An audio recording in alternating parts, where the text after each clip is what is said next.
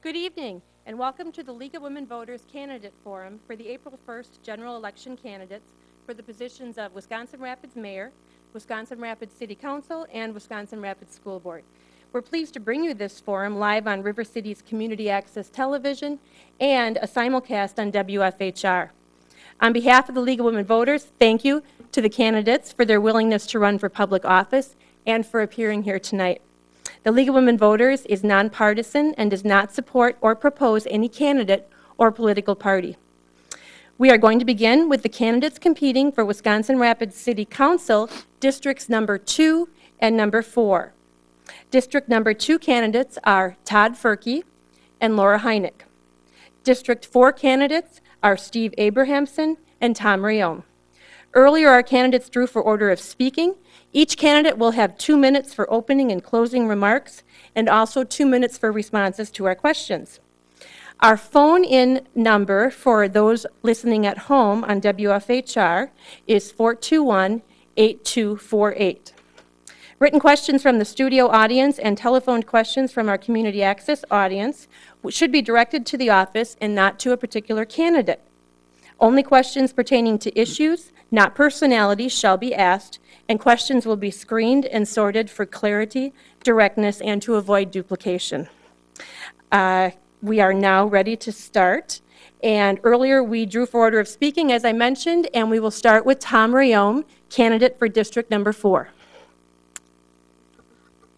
Thank you. Thanks to the League of Women Voters for hosting this forum. I've been on the council for 18 years and would like to continue representing the 4th District and the city. I'd like to use my time to address issues brought up in a letter to the editor in today's Tribune. Accusations have been made that the city is not receptive to new business. Here we go again. No actual statement as to what the city is doing to not be receptive to new business. What regulations has the city enacted that drives away or keeps a business from locating here? Business and/or realtors come to the city about buying property and locating a business. There are zoning requirements of what can locate where. If it makes sense, ways are looked at and considered at times of changing what the zoning is. If a question is asked or someone may be opposed does not mean they are anti-business. Should we have no restrictions of what wants to locate where? I would think that a business that wants to locate in the city probably has some areas in mind where they would want to locate. So I don't feel that a person or business puts up a dartboard of the city and throws darts at it for a place to start a business. The city may suggest alternatives to a potential business, but that doesn't mean there are too many restrictions. Specifically, what actions by our city officials have been taken that shows we are not welcoming to new business? I hope some of these questions will be answered this evening. Thank you. Thank you. Todd Furkey. Good evening, um, and thank you to the League of Women Voters for hosting this event tonight. My name again is Todd Furkey, and I'm thankful to have this opportunity to speak with you tonight to share some of my ideas and thoughts for the future of Wisconsin Rapids. I'm seeking your approval and your guidance in serving the community and to make Wisconsin Rapids a great place to visit, to work and play, and to raise a family. My utmost priority is to diversify Wisconsin Rapids in manufacturing and in tourism and in commercialism. As a community and together with Biron to our east, Port Edwards and Nekoosa to our south, we must quit relying on one type of industry to support our existence and our economies. The paper industry has been a great provider for over 100 years, but that industry struggles. And when that industry struggles, so do our communities. To ensure that our economies will grow and our cities will grow and become a place that other businesses will want to come to, we must diversify. We must be open to change. We must not be afraid of change, and we must embrace it. We do not change our thinking, we will continue to struggle, and other cities and communities will accept the businesses that we didn't want. I will use my experience as a small business owner to communicate with others and to make smart decisions while being a good steward of your tax dollars. I will be honest, open, and serve the community with integrity and the citizens of Wisconsin Rapids. Thank you. Thank you. Laura Heineck. I would like to thank the League of Women's Voters for hosting this forum. It's uh, quite a privilege to be able to speak to the people in this community.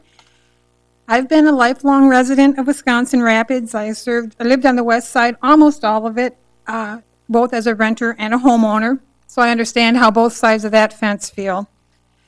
I uh, raised two children. My oldest son is a judge in Michigan, and my younger son goes to UW Stevens Point.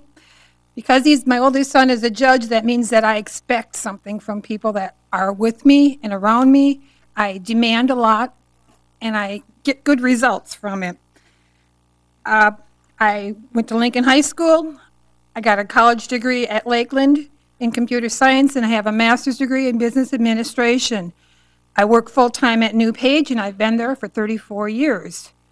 I work at, re- at the Research Center, and there's a lot of complicated things that go on. There are a lot of proprietal things that go on, and we aren't allowed to speak, which teaches you very quickly to listen carefully to what people are asking of you and to give only the things that they need to know back to them, but you have to respect everyone's wishes.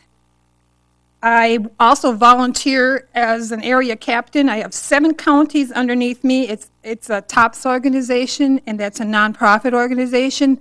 There are 27 chapters that I'm responsible for. I have to make sure that they are following all the 4013C requirements for financial things, and I also have to schedule their meetings and uh, make sure everyone's under the proper procedures that they have to follow. As far as the city goes, uh, the unemployment rate actually in Wisconsin Rapids is 6.4 6.4%. That's not so awful when you think that the state, or the national average is 8.6%. So we actually have a better uh, ratio of employed, pe- employed people in our community. Uh, Our population is slightly decreasing, and uh, we need to make better use of what we have to make sure we can keep our people here. Thank you. Steve Abrahamson. Good evening, ladies and gentlemen, and viewers at home. I would like to thank the League of Women Voters for holding this forum. It is a marvelous thing. It's uh, meant to keep you guys informed. Uh, There's nothing better than being informed when you go to the poll box, because the choices you make in that box are the ones that affect you directly, especially on a local level. Uh, I've been called several different choice names as of recently, and I actually take pride in it. I'm watching out for what's best for the citizens. I try to bring things to the light so that people can make informed decisions and we can hopefully change things. We need to change the environment around our, our city so that we can bring in better businesses, so that everybody can have a job and be self-sufficient. So please, make sure you uh, pay attention to what all four of us have to say tonight. Make a choice, and please get out and vote April 1st. Thank you. Our first question will start, we will start with District Number Two, candidate Todd Furkey. What is your vision for Wisconsin Rapids for the next five years? My vision for Wisconsin Rapids for the next five years and beyond is again to get new industry into this city, whether that industry is uh, manufacturing, whether it is tourism, a combination of both. But we need to expand our horizons here. Uh, we have been in such a rut for such a long time. It's not by chance that um, Aspirus Clinic and the Marshfield Clinic has moved to Wisconsin Rapids. They didn't move here for their health, they moved here for our health. And our community is an aging community. You look at um, cities, sister cities, Marshfield and Stevens Point, yes, they have advantages, but we have to take the situation that we're in with our uh, paper industry and uh, expand from there. We need to look at filling up our industrial park and our business park. Uh, Renaissance Learning, uh, the cranberry industry, both are great providers of income and uh, jobs for our community. But we need to do more. We need to look for uh, other types of manufacturing, other types of tourism to be brought to the city of Wisconsin Rapids and to the surrounding communities, like Port Edwards, like Biron, like Nekoosa. These communities, their economies, they're all interrelated. You can see that uh, by the closing of the Port Edwards Mill. To think that that did not affect Wisconsin Rapids is silly. We have a lot of our residents that did work at that mill, and a lot of uh, residents in Wisconsin Rapids that work at the Nekoosa Mill or Biron Mill. They're all intertwined, and we need to diversify. Thank you. District Two, Laura Heineck. My vision for the next five years for Wisconsin Rapids, I hope that we can provide, continue to provide the excellent services that we have in our community. We have a wonderful, wonderful utilities. We have uh, road crews that work very hard to get our roads in, in good shape for us to use. We have uh, sewer, uh, electric, and I think that um, our garbage, all of our services that the city has are very good, and I think people want them. But that comes at a cost, and that's really important. Our tax base is a little bit high, and we need to remember to keep our costs and control our costs as we work to starting to rebuild our community. We have some great core businesses, New Page, Renaissance Learning, Ocean Spray, Mariana, and we have the new dairy farms that are coming in. And we need to keep them integrated in our city, and we need to find ways to keep them and build them more into the city processes. We don't want to have them start thinking about moving somewhere else. And when we have them, we need to go and continue to build facilities around them that can keep supporting them. With the dairy, we maybe can uh, find some more use to help expand some of the local cheese factories or something and start selling their products more aggressively in the city. Uh, Maybe use better use of our mall to go and provide small businesses to get start, upstarts. And we need to also give our city an identity. Right now, we're kind of in between. We have a Cranberry Festival, we have a Fourth of July, and we have a Grand Affair, but we don't seem to have an identity anymore. So we need to decide who we are, and then we need to build on that. Thank you. Our question is, what is your vision for Wisconsin Rapids for the next five years? Uh, Number four, uh, District Number Four, Steve Abrahamson. The vision I have for Wisconsin Rapids is one of prosperity. Uh, We need to open up our doors and allow small businesses in. We can't be sitting in mid, uh, committees and trying to decide how many businesses we're going to limit coming to the city, what type of business we're gonna limit. If there's already codes and ordinances on the books, we need to look at those. If the new business that wants to come in doesn't violate any of those, open the doors. Um, it, it, it's really frustrating watching some of the, the committee meetings on public access and watching the, the people sitting there purposely trying to find reasons to keep businesses out. So what we need to do is we need to get rid of the Good Old Boys Club. We need to get four new faces on city council. That's going to be a lot of change right there that could open this, these doors. Thank you. District Four, Tom Rayome. Thank you.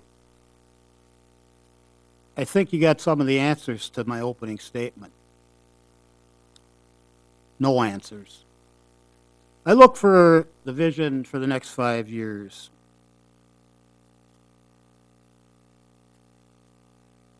It is to attract businesses and that, uh, business and jobs and that, and that's what's always talked about. And that has to be done. I think it has been tried. We have been successful in some places, some areas, Mariana, Mariani cranberries, and others. Uh, the health facilities that were mentioned. This community is growing. A- Another industrial park that's over out on the east side. Uh, The park on the west side's just about full. I forget how many acres exactly, but a few acres are left in it to, uh, for a business. To work together with other communities, to see what can be done together, but also what has to be done at that time is to talk to the people that are actually doing the work to see how they feel and to have their input into how services would be combined and provided. Not just those sitting here to make the decision, but input from the workers themselves of how they want this to be accomplished. I want to see our infrastructure done or completed more. Uh, the west side was Grand Avenue and out on West Grand. Uh, it's a beautiful way to come into the city. The lighting that was done. Uh, down through West Grand to the river. It's looked at in a couple years, hopefully, that it comes about to be doing uh, East Grand. There's a couple streets in the area being done uh, in the, this summer, and so it's to continue growing. Thank you. And thank you to our listening uh, audience on WFHR and our viewing audience for the questions. You can phone those in to, at 421-8248. Our next question uh, will go to Laura Heineck first, District Number Two candidate, and I wanted to remind our candidates to please remember to turn your microphones on. Okay, uh, as a city council member, what type of support would you provide to the Tribune Building project? The Tribune Building project is uh, in flux yet. They don't really have a defined uh, determination of what they're planning on doing with it, but I do know they currently have a committee that is working on that. And I really hope that they bring that into a, a public access type building where people can come and uh, use the facility for uh, meetings and make it, make it something that everyone is going to be able to have access to. I hope it doesn't end up becoming like a closed situation and, and, and not very many people know how to even, and use it, uh, have access to it. I would love to see it filled with beautiful things like a museum, like an art type of thing, so that it becomes like a cultural center. We have one already, a cultural center, but it would be nice to make it so that it, it really is an attraction and that the public can see it. And when people visit our community, I would like them to be able to go and use it as, here's another touristy thing to go view while you're here. So that really is what I hope they do with the building. Thank you. District 4, Steve Abrahamson. That's a pretty interesting question. Uh, number one, the building is privately owned by Incourage. So I don't really get into the, the private, public, uh, partnerships a whole lot. Uh, it should be up to Incourage what they want to do with the building. Would I support what they're doing? Sure. Would I be throwing taxpayer money at it? No. Thank you. Uh, District 4 candidate Tom Rayome, the question is, what type of support would you provide to the Tribune Building project as a city council member? I guess uh, city support in the in the sense of, uh, I guess surrounding it, the streets and that uh, to to accommodate what uh, they come up with to do with the building. I don't want the city to be put at risk that if something, if whatever was planned fell through, that the city wouldn't be left, in my words, holding the bag. So it is a private venture. Um, That's what it should continue to be, I feel. But where the city can lend support to help uh, attract, uh, if it, if it is to attract some type of businesses in or how, whatever is uh, decided to do. But uh, Incourage owns the building. They may sell it to somebody else, but I don't think it should be the city getting into doing that. Thank you. Thank you. District 2 candidate Todd Furkey. I would, uh, I would echo what Steve and Tom had said also. Um, The city does not have the tax dollars to be repairing, fixing up, promoting a private-owned building. We need to use our tax dollars to pay our employees, to fix our roads, to create opportunities for businesses to come into this area. It would be great if it turns into a museum, um, uh, some type of uh, community center uh, that people can uh, use, use that facility to do their workshops. I know that was thrown out, uh, woodworking, all kinds of different stuff, cultural center, whatever. It's a privately owned building. It should stay a privately owned building. The city should have no part in spending tax dollars doing anything to it other than promoting the existence of it in a way that promotes the uh, culture of Wisconsin Rapids or the opportunities of Wisconsin Rapids. But no tax dollars should be spent there at all. Thank you. Thank you. Thank you, candidates. Our next question will go to Steve Abrahamson, District 4 candidate first.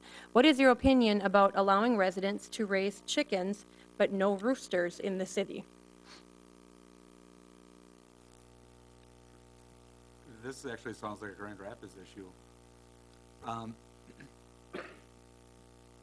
It depends upon what uh, area of the city these people are looking to do this in. Uh, You know, if it's in the the far outreach residential areas,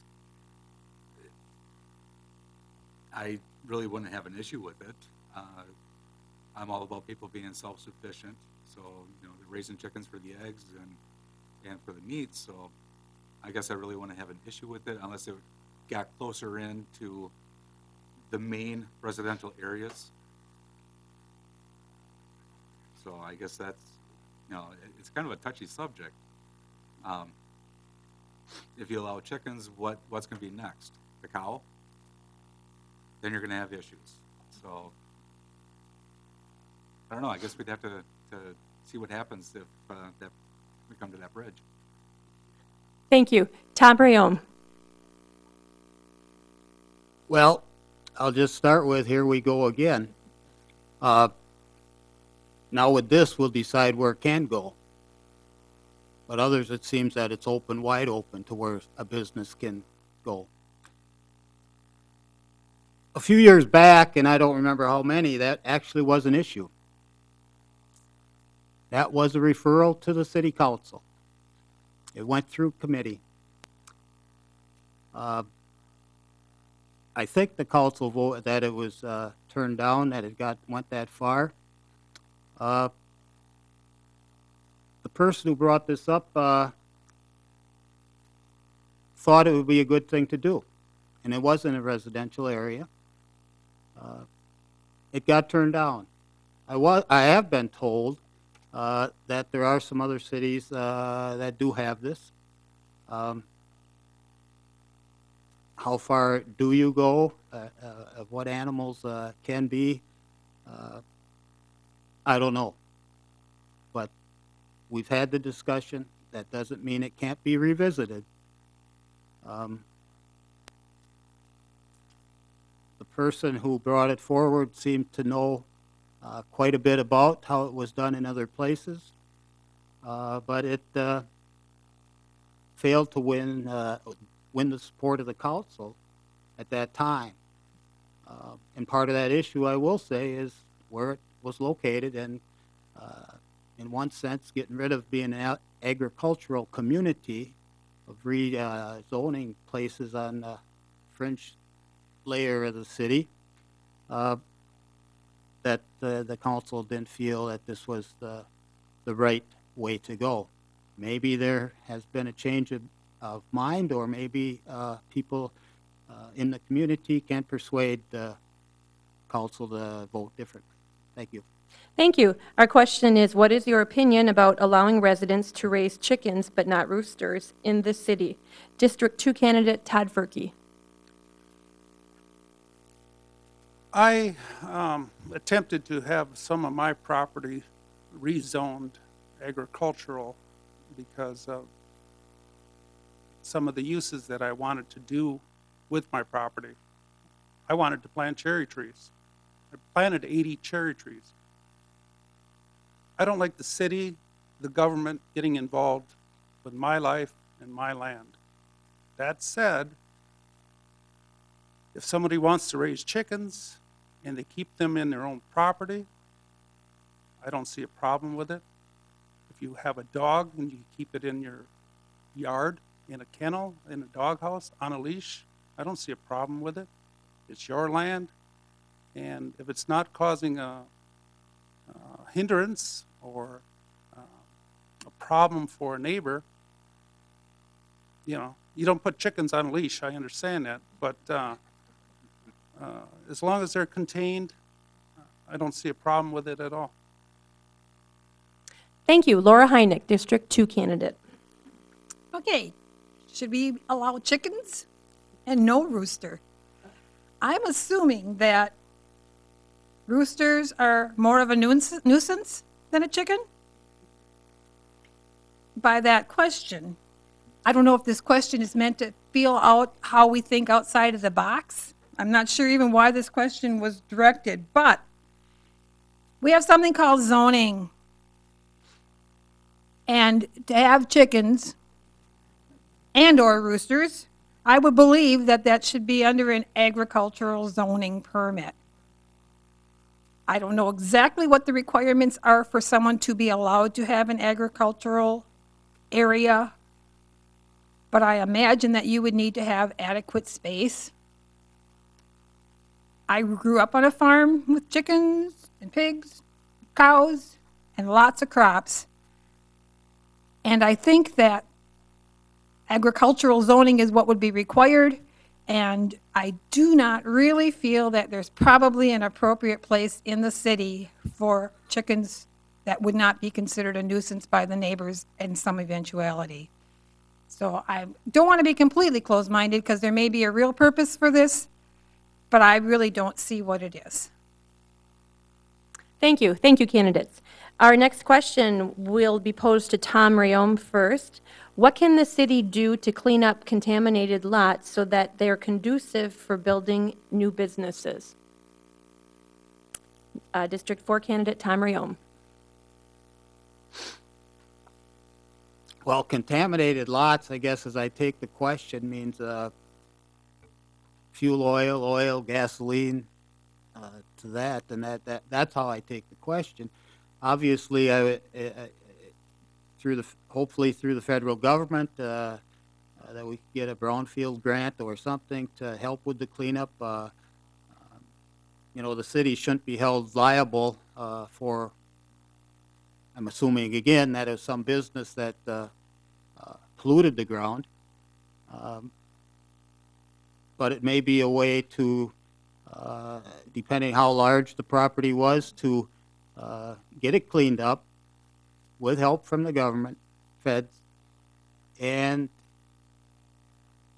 to try to attract businesses there. Again, it has to be how, you know, how big the lot is, the area uh, of what kind of business you could look at uh, going in. I mean, if it's four or five blocks, uh, there's probably several things you could try to uh, attract in once it's cleaned up and passes the passes the test of uh, of uh, not just us. Uh, I would believe the federal government had, would probably have the last say in what we could get it put in, uh, and for sure if we expected uh, help with any of the funding on it. So, uh, you know, there, I guess a lot of ifs, and I tried to say of what came to mind of, uh, you know, what what type of contaminants, uh, how big the property, where at, and uh, to get help and expert advice uh, from the uh, state and federal government, uh, those people, EPA and that, of, uh,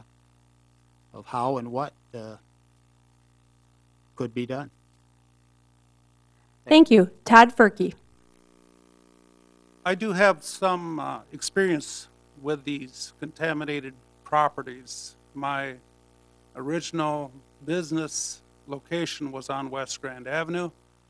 I had gas stations on three sides of me, or actually former gas stations. Only one uh, currently existed while I opened our doors in 1994. Um, Family Natural Foods, uh, the Phillips 66 to our east. Across the street, there was an Amoco station and uh, Rollin Fuels. There was a bulk plant there. The area was somewhat swimming in petroleum. A good thing about the west side of Wisconsin Rapids, at least, we do have bedrock, uh, fairly shallow bedrock.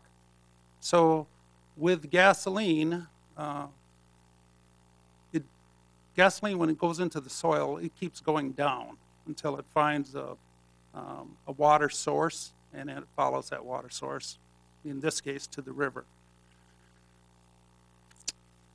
There are, there were giant super funds that were available, PECFA funds, to help with cleanup.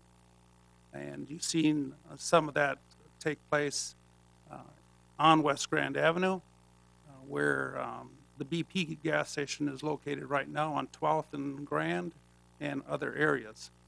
Um, The thing is, when we live in the city, nobody has wells. You know, we don't drink the water out of the ground. We drink the water out of the tap. And the water that comes out of the tap is filtered by our sewer, water and sewer department, and um, it's not really an issue. So uh, the need to have our ground super clean, although it's nice and nostalgic and whatever else, is not that high a priority to spend hundreds and hundreds of thousands of dollars to clean up. Thank you. Our question is, what can the city do to clean up contaminated lots so they are conducive for building new businesses? District 2 candidate Laura Heineck. I'm not sure if these contaminated lots are actually city property or not. If they're already owned by the city, the city is responsible to make sure that they are cleaned. Uh, When I took my law school classes, we were told that if you are selling a property that had already had some type of conna- contamination issue, it was the responsibility of the seller to incur all expenses to make re- repairs and make this land good. If the city happens to have something that's already contaminated and they're aware of that, I don't know if there's any repercussions for going backwards and checking to see if there's some way to um, have the government give them uh, some type of grant or funding to help clean up this property because they now own it and they, you know, did not have that buyer be aware, beware kind of thing going on. If it's a personal business or person themselves that have this difficulty, I think the city should try to help them find ways to clean the- up the problem, but it's not the city's responsibility to clean it for personal property. Um, I think that sometimes these are the types of questions that you need to ask Sue Schill to go and look into, our city attorney, because she probably can get more background and information on what exactly the regulations are in these situations. Thank you. Thank you. Steve Abrahamson, District 4. I feel that it should be the responsibility of the property owner, whether it's the city or privately owned. The city should have resources available to the homeowner or the property owner where they can apply for, like Todd said, the, the PECFA PECFA. funds. Uh, There's quite a large amount of funds in that that uh, the normal citizen can apply for. And they, you know, a lot of these forms are, are really tricky, so they do need, people need help filling them out. I think the city should help the people fill these forms out, make sure everything is perfect, so that the person could apply for these funds, get them, and get the property cleaned. But really, it does come down to personal responsibility. Uh, It should be the person themselves responsible for the cleanup. Thank you, candidates. Our next question will start with Todd Furkey. What is the most important issue, int- most important issue facing the city, and what is your specific plan to address it? What is the second most important issue facing the city? Well, my, my whole platform, my whole reason for entering this race is to help the city diversify, to get more businesses into the city. And those businesses could be manufacturing, those businesses could be commercial, those businesses could be tourism. But we need to do more. We're falling further and further and further behind my idea is to help the city uh, achieve more businesses here. And this is probably not going over good with a lot of people, person that sits in this seat, in the mayor's seat, that is the face and the voice of Wisconsin Rapids. They need to be the point person to attract businesses. They need to get out on the road, and they need to seek manufacturers, they need to go to trade shows, they need to go to uh, job fairs, manufacturing expos. Uh, Look for manufacturers like Harley Davidson, John Deere, Oshkosh Trucks. Contact those people with a handshake, not with a phone call, with a handshake. And say, we have buildings, we have vacant properties in our industrial park, we have vacant buildings in our industrial park, in our business park. We have a blue-collar workforce that's hardworking and want to provide for their families and to help them make money. So those are some of the things that I have uh, in mind for this council and, and our mayor. Thank you. District 2 candidate Laura Heineck. all through this election process, running as an alderman, I have been being asked, how can we make the city grow? How can we bring businesses in? How can we make them want to come here? How can we make this city inviting? I want to remind everyone that the true role of the city council is to work with passing ordinances, and governing the city. It's controlling the city's property and the taxation, the financial areas of it, and it's appropriating the money. That's direct from the city website, defining what the council people do. We're supposed to work with the other entities to make good policies. I would love to say that as council people, we are the ones that are going to be bringing in the businesses, but we're not. We're the ones that are going to make the policies. Um, I think most important thing we have is our fiscal responsibility to the taxpayers. At the same time, we need to make sure that we are providing the services that the people want. We have to make sure that our roads and our infrastructure are being maintained and built up. We have to make the city look presentable. We have to make sure that the people are getting what they need, and we have to answer and respond to the individual people. Those are what council people should be doing, and that should be our priority. Finances, passing the ordinances, making sure that the city is, pro- is adequately uh, uh, employed to give us the services that we need to continue. Thank you. Thank you. Our question is, what is the most important issue facing the city, and what is your specific plan to address it? What is the second most important issue? Uh, District 4, Steve Abrahamson.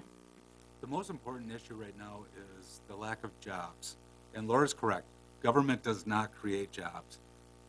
What we do, what we can create is an atmosphere favorable to jobs. If I were elected to the city council, my plan is to go through the comprehensive plan, all the ordinances, uh, all the codes, to see what's doubled up or tripled up, and being restrictive to creating that atmosphere to invite businesses to our area. The second issue is listening to the citizens. I've heard so many people say that uh, they've come to the city council and they're not being heard.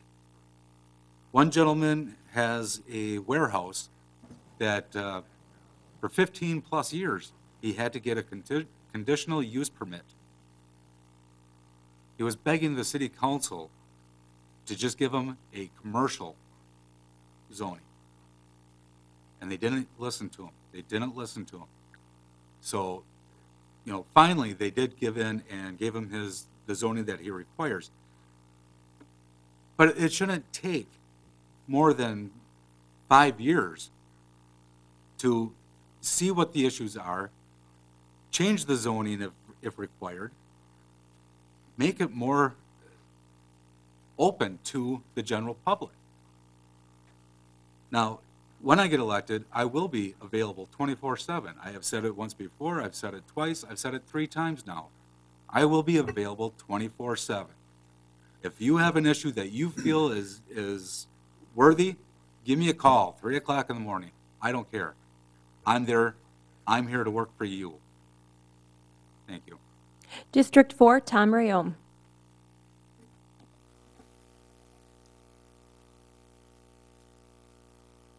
You know, there's many, many things, and I guess you could put, put them together. It's, uh, how you spend your money, uh, what the citizens want, and, uh, you know, part is, uh, lis- listening to the citizens, listening to city staff, listen, listening to other alder persons of, uh, what their thoughts and ideas are. None of us, none of us have the magic bullet. Takes discussion with all. And one thing that does come to mind is the comprehensive plan, a thing that was worked on for the longest time. It finally was accomplished, it was completed, but through the process, it was always said that this is a work in progress, that it could be changed as the need would come along, that maybe something wasn't right. So again, the council is will- willing, has been, to look at things. I don't know of anybody that was refused the opportunity to speak at the council meeting.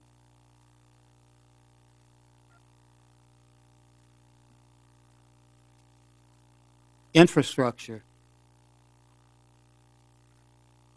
That is a huge, huge thing. I bet everybody here is, would be amazed at how old the pipes are, sewer pipes and that are under some of the streets that we have. It's amazing that they still work. 90, 100 plus years old. I hope we get Grand Avenue done. I hope we can renew this. I would like to see this become more, uh, more of a tourist, uh, destination. Thank you. Thank you. Our final question for this evening before we move to closing statements will go to District 2 candidate Laura Heineck. Is there a current city ordinance that you would work to repeal and why? Is there a current city ordinance that you would work to enact and why?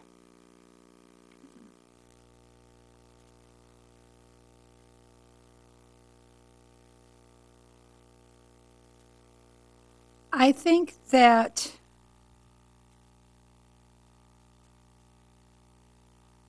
the city ordinances have all been put in place for a true purpose. Each is in for its own distinguished reason, and the council has put them and uh, approved them based on things that I don't know the background of. I really cannot address this question in, in a way of a specific ordinance. I do know that there's uh, questions now going on about sidewalk and easement rights. And when West Grand uh, was done from the railroad tracks out to Kwik Trip, that when the state came in, there was a lot of questions about this road easement and the way the sidewalks and the roads were put together. Uh, the snow is supposed to not ever get on the sidewalks. Well, that isn't quite the policy, the way it ended up going. Uh, They made school routes that insisted that there were sidewalks in these areas, and a lot of taxpayers were worried about the expenses of that.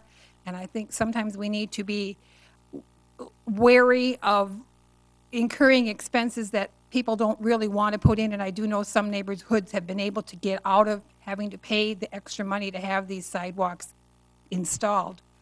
Each is an individual basis thing, and you- can't just uh, run over, roughshod over the whole city. If an area or a constituent wants something, you have to listen to their request, and you have to bring it to City Hall, and you have to discuss it with all of the council people and determine really what is the best situation.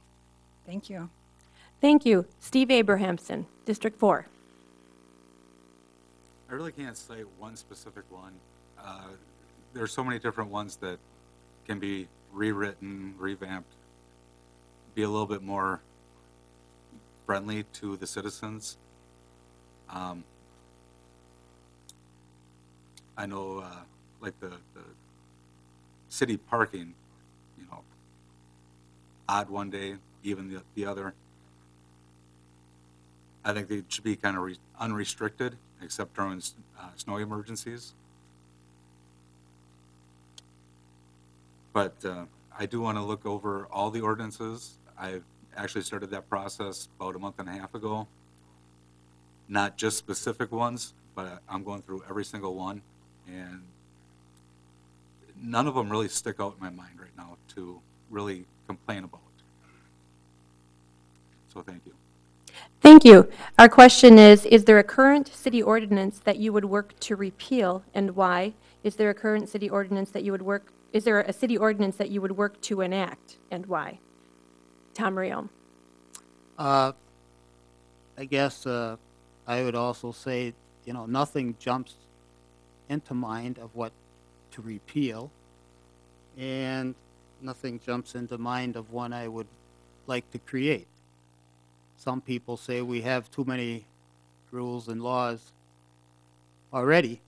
So, um, but I think again, these things are, uh, somewhat works in progress too.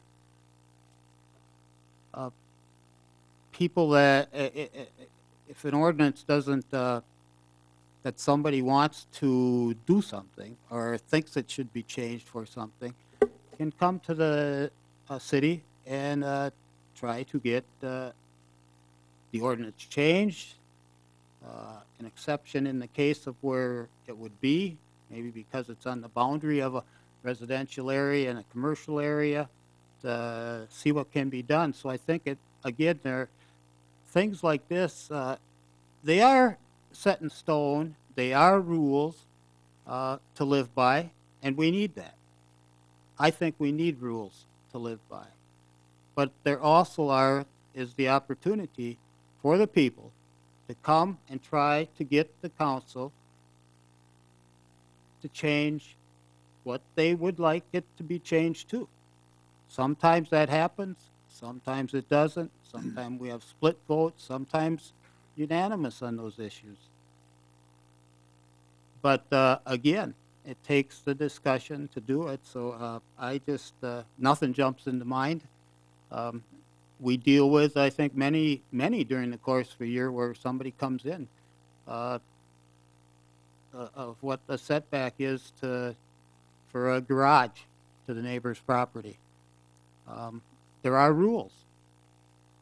But sometimes it's changed. If the neighbor next door says, I don't care, or something like that. So things are done and changed. Thank you. Thank you. District 2 candidate Todd Furkey. I um, would advocate personal responsibility uh, on, on all things having to do with your residents. I know there are, there are ordinances in place for the good of the community. Uh, I would like to think you wouldn't need Big Brother to tell you that you can't have an old wreck sitting behind your garage. You can't have a refrigerator sitting next to the garage. Um, But there are people that will uh, not use common sense, not give a rip. you know? So there are ordinances in place for a reason. Um, I had calls today, people uh, complaining that they had to have their motorhome moved because it was parked on the grass rather than on their paved driveway.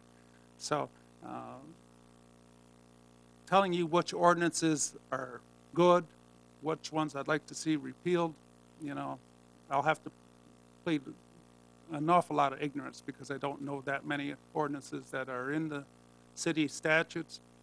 Uh, One thing that does uh, affect me and affects an awful lot of the people, especially on the west side, is our train whistle. And uh, if you're in my business or you're sleeping and that train goes by in the middle of the night, um, you're not a happy person. And so, um, whether we could enact some uh, no horns at certain hours of the day or night, uh, even in non-gated uh, areas, I think that would be something that the city could look at. And I know that is a, uh, a, a law that has to go above this level, uh, because I know there are federal laws with train crossings and whistles, so that would be the one. Thank you. Thank you, candidates. It is now time for closing statements, and we will start with District 2 candidate Todd Furkey. Thank you again, uh, League of Women Voters, WFHR, and the River Cities Community Access. Thank you to our viewers and those present. Um, Thank you for wanting to be involved and informed while you cast your vote. I want to thank Zach Vruwink, Mary Jo Carson, um, Gene Young, Bob Nash, and Marion Hokamp for their years of service, serving their city and serving their neighbors. I want to thank you, Laura Heineck, and Tom Rayome, and Steve Abrahamson for sharing your ideas and your visions for progress of this fine city. But I do believe we need to be more streamlined and more accessible in welcoming new potential businesses to Wisconsin Rapids. We have the water and sewer capacities. We have a business park, an industrial park. Um, We have a lot of areas for, uh, room for expansion. And um, we're really falling behind our, our neighbors to the west and our neighbors to the east. But um, with your ideas and your support and your votes, I will do my best to help lead Wisconsin Rapids to a, a brighter future. So I thank you again for your presence here tonight, and I apologize for stuttering, not used to being behind a microphone. So thank you. Thank you. District 2 candidate Laura Heineck. I would like to also thank the League of Women's Voters for hosting this forum. I appreciate and enjoyed uh, listening to all the other candidates as they voiced their opinions on various topics that were discussed tonight. Um, Wisconsin Rapids is 18,600 people, give or take a couple. Our median home price is $87,000, which is much, much less than the average in the, in the whole country. The average home price in the, in the United States right now- is 153,000. I say that's one reason to invite people. Our cost of living in Wisconsin Rapids is 13.6% lower than the average in the United States. 13% is a lot. Unfortunately, our household income average is $39,000 a year, which is about $11,000 less than most of the people in the, in the country. I think that we have a lot of things going for us. We could be bringing more people in when they understand that this is a community that is enjoyable. We have recreation. We have job growth. very, very small, but it's been growing at 0.64% last year. I think that we have a, a great city that we live in. We have wonderful services. We have an infrastructure that's needing some work. I believe that I would do my best to make this city a place people would want to be in, that would improve job situations, and that would in, in- increase our educational levels and our overall happiness quotient. Thank you so much. Thank you. District 4 candidate Stephen Abrahamson.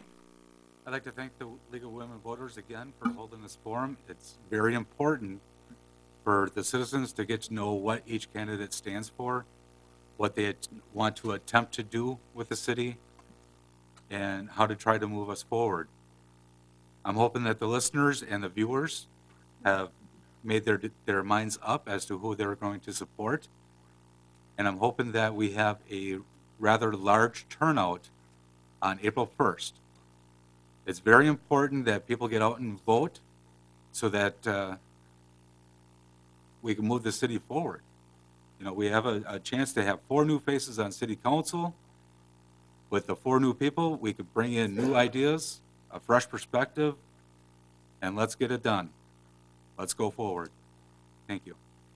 Thank you. District 4 candidate Tom Rayome. Thanks again to the League of Women Voters for giving us this opportunity. I feel that my experience, knowledge of how things work, what can be done, and what can be, possibly be changed are strong assets that I bring to the City Council.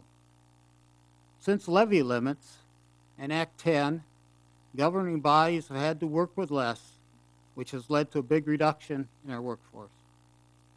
For those who support these reductions, listen to the people who would like their streets plowed sooner, as there are times our equipment sits idle because we do not have the manpower to operate it. There's so many, so many hours that our crews can go, can work, and then they, it's rest. We've been asked to do more with less while freezing raises, wages, or not much raises, cutting workers, cutting benefits. This has, uh, like it or not, in many cases, destroyed the morale of our excellent workers and workers in other areas. And with this, I mean both union employees and non-union employees. The morale is going down. We have many things. Uh, talk about the parking on the grass. It's come up off and on and whatever. Those types of things are things that, if people want, can be ad- addressed by the council to bring things forward. Um, overnight parking never would have. At, at both sides of the street, it's been tried. It didn't go compromise was on off. Think, uh, I believe there is a clear choice between my opponent and me. And I ask for your support. Remember to vote on Tuesday, April 1st. Thank you. Thank you. And thank you to our four candidates. Uh, District 2 candidates, Todd Furkey and Laura Heineck. District 4, District 4 candidates, Stephen Abrahamson and Tom Rayome, running uh, for those positions on the April 1st general election ballot. Thank you very much. After a short break, we will return with our two Wisconsin Rapids mayoral candidates. Thank you. Thank you.